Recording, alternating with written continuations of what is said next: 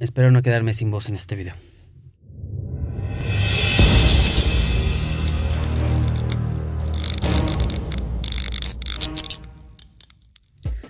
Para no quedarnos atrás en el próximo tren del mame, en cuanto a películas se refiere, hoy hablaremos de nuestro amigo Sonic. Él sin dudas, en los videojuegos es emblema de Sega, no por nada es la mascota de la marca.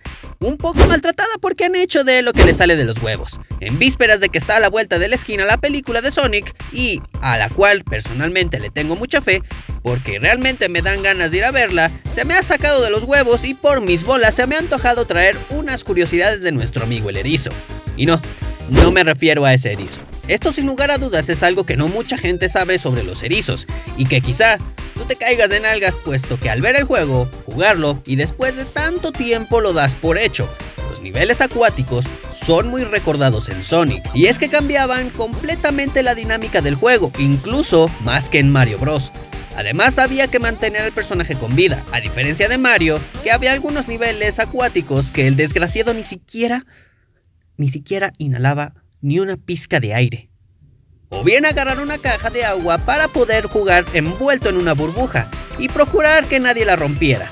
Sonic fue diseñado así porque sus creadores, eh, unos creadores que tenían un poco de flojera, sinceramente, y un tanto de desinterés por informarse acerca de los erizos. Y es que Yuji Naka, quien también fue el director del primer título, estaba muy seguro de que los erizos no podían nadar.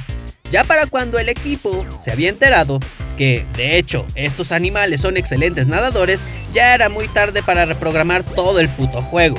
Sin embargo, esto no le afectó, de hecho, lo hizo más retador y de aquí empezó a ser parte aguas a los que les gustaba Sonic y a los que les gustaba Mario Bros.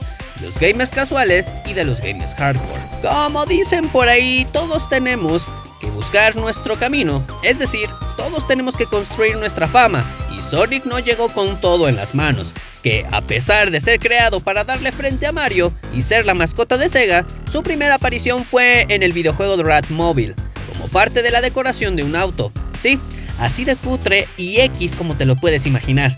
Pero bueno, con el tiempo, más que una aparición se consideró un cameo, Sí, así de loco de Braya la gente las cosas. Más específicamente apareció como un aromatizador de vehículos. Bueno, en esa época donde Roger Rabbit tenía una novia, en donde Box interactuaba con Michael Jordan, bueno, pues Sonic no se quería quedar atrás, se le adjudicó como novia a Madonna. Eh, sí, bueno, no a la Madonna que todos conocemos, pero sí, es verdad que en el diseño original del personaje querían que tuviera cierto parecido a Madonna. Ya sabes, era una mujer con la que cualquier hombre promedio en esos años quería estar. Además de que cargaba con bastante sex appeal Madonna en esos tiempos. Los creadores quisieron darle un toque adulto, creando un personaje femenino al más puro estilo, como dije, de Jessica Rabbit. Por fortuna, esto no despegó, porque desde un inicio no tuvo ni pies ni cabeza y solo quedó como un boceto, guardado en un cajón de un lugar muy, muy, muy, muy, muy, muy lejano. A pesar de que esto a todas luces siempre fue un rumor, hay muchas pruebas de que Michael Jackson trabajó en canciones y melodías para uno de los juegos de Sonic.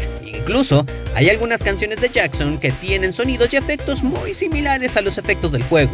Una de las leyendas cuenta que, según Jackson, la calidad del sonido que la consola reproducía no era suficiente buena como para poder representar toda su maldita majestuosidad de Michael Jackson. Por eso Jackson no quiso que su nombre figurara en los créditos del juego. Prefirió solo recibir la pasta pero no el crédito. Ya saben, el ego en los músicos. Otro rumor que tampoco suena tan descabellado es que Sega decidió tener a Michael Jackson con un palo a distancia. Fue porque en esos años Michael tenía múltiples denuncias y escándalos por pedofilia. Desde un principio se tenía pensado que Sonic fuera un personaje que pudieras ubicar fácilmente. Por esos años Box Bunny también era muy famoso, Mario Bros ni se diga. Así que fue pensado originalmente como un conejo llamado Phil. Y en vez de tener una super velocidad, podía usar sus largas orejas para luchar contra sus enemigos o agarrar cualquier cosa. Un tanto no llamativo sinceramente, esta idea no se descartó, solo se recicló más adelante para Restart. Aún así, la serie de Sonic the Hedgehog cuenta con un conejo llamado Cream, también con orejas súper poderosas. Estas dos últimas curiosidades no merecen un puesto por individual, así que afloja las nalgas que ahí te van. Se supone que Sonic viajaba a la velocidad de la luz, pero si realmente lo hiciera así, se distorsionaría el espacio-tiempo y su masa se volvería infinita. Incluso originalmente en el videojuego corría mucho más rápido, pero por un tema de jugabilidad tuvieron que bajarle la velocidad. Ahora sí que bájale dos rayitas a tu volumen. Según en los cómics, el color azul de Sonic y su super velocidad son resultado de un accidente de laboratorio. Claro, el clásico cliché, ¿no? Sonic es un personaje que ha envejecido con bastante dignidad. ¿Por qué digo esto? Han hecho de Sonic lo que han querido, vaya, lo han tratado peor, peor que basura. Y pese a esto, es increíble la fama y el cariño que aún mantiene. Fue y será siempre un personaje icónico cuya creación fue darle la lucha a Nintendo. Y sin más que agregar, no olviden pasar al canal, allá hay noticias y mucho más contenido como este. ¡Chao!